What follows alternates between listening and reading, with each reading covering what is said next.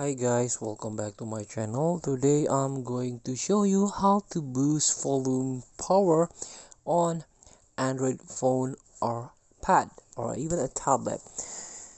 So if you feel your phone is a low on volume not too loud or you need extra volume on your phone you can install third party. You can install extra app by go to the play store and try to type the volume booster.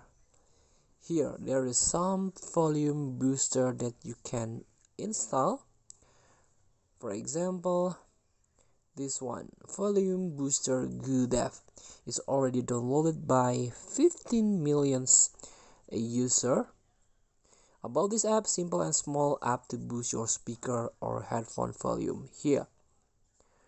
But warning, playing audio at high volumes may damage speakers uh, or hearing and all use is at your own risk.